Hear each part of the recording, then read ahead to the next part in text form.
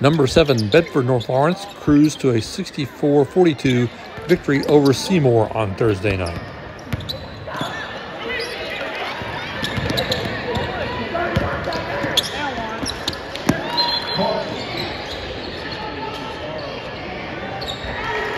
Chloe Spreen had 25 points and 7 rebounds as the Stars improved to 3 0 in the Hoosier Hills Conference.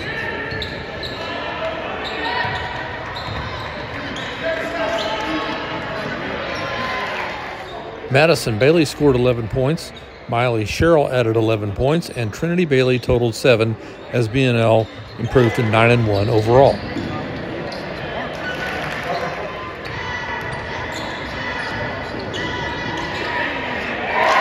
The Stars hit nine three pointers and beat Seymour for the 10th straight time in the series.